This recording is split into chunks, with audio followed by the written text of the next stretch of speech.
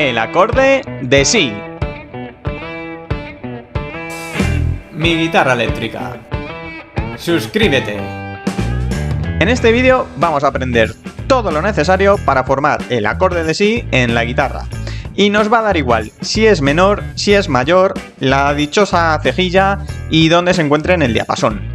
Y para ello, solo te pido que me des un minuto para explicarte la mínima teoría musical que hay detrás. Un acorde sencillo de triada puede ser mayor o menor. Si es mayor, está formado por la fundamental, su tercera mayor y su quinta justa. Y si es menor, está formado por la fundamental, su tercera menor y la quinta justa. Entonces, si aplicamos esto al acorde de Si, tenemos que el acorde de Si mayor está formado por las notas de Si, Re sostenido y Fa sostenido. ¿Por qué?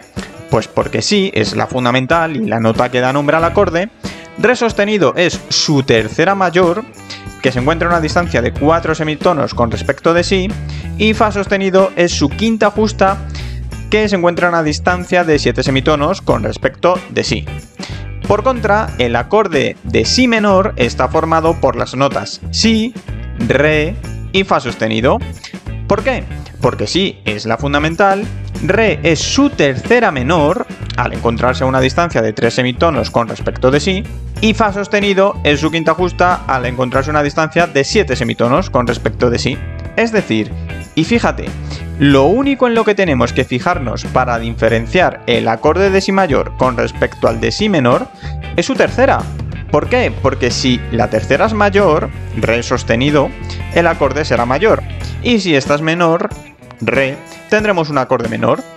Pues bien, visto esto, vamos a buscar estas tres notas en el diapasón de la guitarra para formar los acordes. Y empezamos con el acorde de Si mayor el cual tiene la siguiente forma y suena así. Si nos fijamos bien en este diagrama, tenemos que empezamos a tocarlo en el traste 2 desde la quinta cuerda hacia abajo y en él encontramos las notas musicales de Si, Fa sostenido, Si, Re sostenido y Fa sostenido. Entonces, Fíjate, porque aunque son cinco notas las que suenan, realmente son las tres que te comentaba al principio, pero repetidas en algunos casos.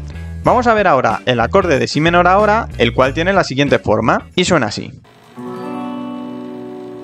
Si nos fijamos en este diagrama, tenemos que empezamos a tocarlo de nuevo en el traste número 2, desde la quinta cuerda hacia abajo, y en él encontramos las notas musicales de Si, Fa sostenido, Si, Re y Fa sostenido.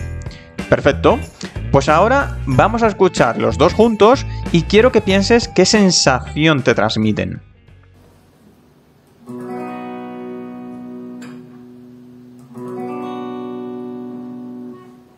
Si te fijas, Si mayor suena brillante y alegre, mientras que Si menor es como más melancólico.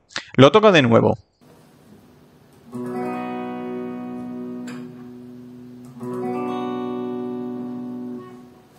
Bien, esto se debe justamente y únicamente a su tercera, a Re, que en el caso de Si mayor te recuerdo que era Re sostenido y en el caso de Si menor era Re. Y esto es pura magia porque basta con aumentar la distancia tonal que hay entre la fundamental y su tercera un semitono para cambiar totalmente la sensación y el sentimiento que nos transmite el acorde. Perfecto, pues si analizamos un poco más el acorde de Si mayor y Si menor, encontraremos que este acorde realmente está basado en el de La abierto. Y realmente lo que hemos hecho ha sido desplazarlo dos trastes hacia el puente.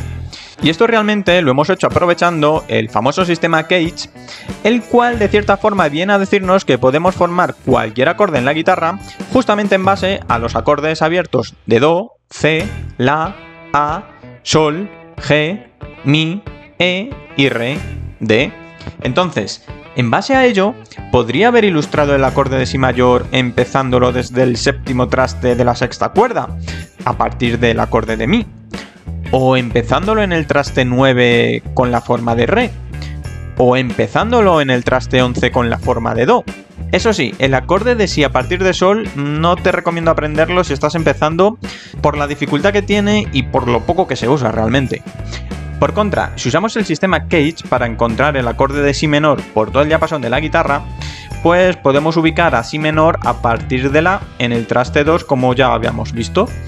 O empezando desde el séptimo traste a partir de mi menor. O empezándolo en el traste 9 a partir de re menor.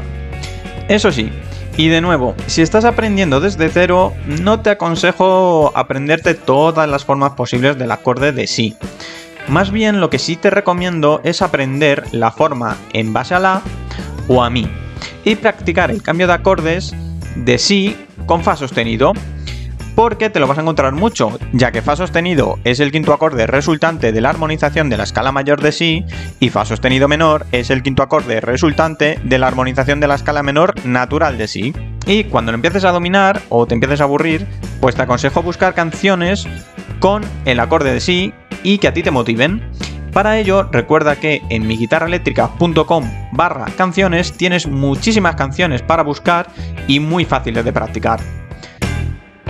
Y nada, con esto ya concluimos la lección, espero que hayas aprendido mucho. Si todavía no estás suscrito, te invito a suscribirte para seguir aprendiendo guitarra de forma fácil. Y si consideras que has aprendido algo, pues dale un like. ¡Chao!